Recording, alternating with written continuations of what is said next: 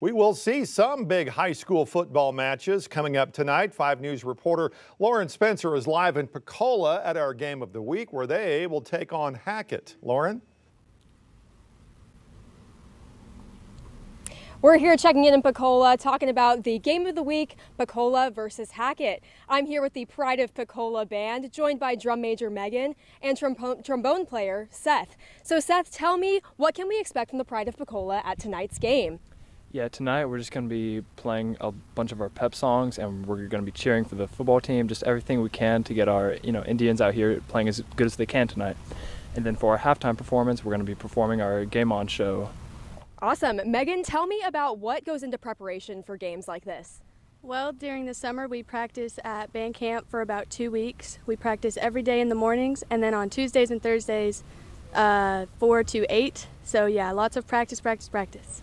All right, guys, send it out.